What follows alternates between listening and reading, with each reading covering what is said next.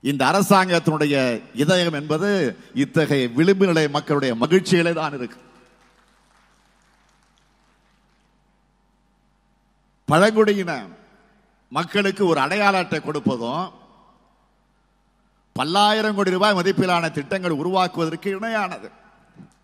இது விளம்பரத்திற்காக செய்யப்படுவதல்ல.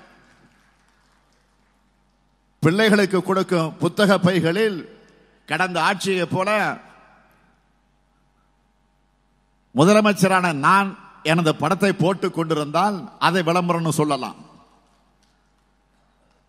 கழக ஆட்சி கடந்த ஆண்டு பொறுப்புக்கு வந்தப்போ நீங்க மறந்திருக்க மாட்டீங்க. பள்ளி கல்வித்துறை சார்பில் கடந்த ஆட்சி காலத்தில் அப்போதைய முதலமைச்சர் படத்தை அச்சிட்டு தயாரிக்கப்பட்ட பைகள் இன்னமும் மிச்சம் இருக்கு. அதை பயன்படுத்த வேண்டாம்னு அமைச்சர்கள் அதிகாரிகள் என்னிடத்தில் வந்து சொன்னாங்க. நான் உடனே சொன்னேன் அதை பயன்படுத்தாமல் போனால் நூற்றி பதினேழு அதை பயன்படுத்தாமல் போனால் பதினேழு கோடி ரூபாய் அரசுக்கு வீண் இழப்பு ஏற்படும் செலவு ஏற்படும் பணம் வீணாகும். பரவாயில்லை முன்னாள் முதலமைச்சர்கள் படமே இருக்கட்டும் என்று சொல்லி அந்த பைகளை கொடுக்க சொன்னவன் தான் இந்த ஸ்டாலின் என்பதை மக்களாகிய நீங்கள் அறிவீர்கள். விளம்பரங்கள் எனக்கு தேவையில்லை.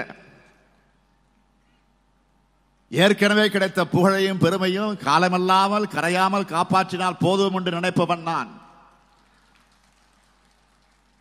திராவிட மாடல் என்று சொன்னால் காலமெல்லாம் இந்த ஸ்டாலின் முகம்தான் நினைவுக்கு வரும்.